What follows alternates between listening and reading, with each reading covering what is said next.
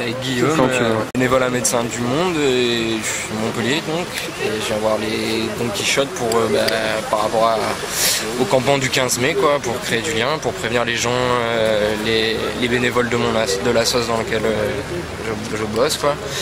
On fait euh, un observatoire de l'accès aux soins des gens en rue, leur niveau de santé, leur état de santé mentale, euh, les conditions d'accès aux soins sur la ville de Montpellier et qu'est-ce que qu'est-ce que qu'est-ce qu'on peut y faire pour améliorer ça. Donc on voit beaucoup de gens sans logement, euh, on a une bonne idée de, de- du- de ce qui se passe sur le terrain à Montpellier et on essaye de créer du lien interassociatif.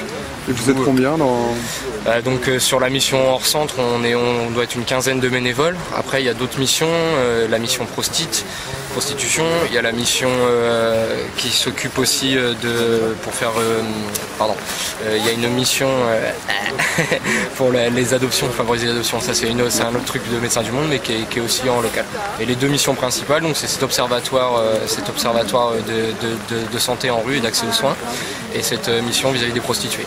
Donc trois jours par semaine, il y a un, un médecin euh, qui officie au centre de Médecins du Monde sur Montpellier gratuitement avec une assistante sociale qui essaye d'ouvrir les droits. Voilà à peu près notre action et euh, le- je redis aussi créer du lien interassociatif quoi, pour essayer de... Le 15 mai, il y aura Médecins du Monde sous les tentes. Normalement, ouais. Moi j'y serai en tout cas et la plupart, de, la plupart des, bénévoles avec qui je travaille, on a, on a tous bien reçu euh, cette, cette action de, des Don Quichotte et je pense qu'on sera solidaires effectivement. Voilà.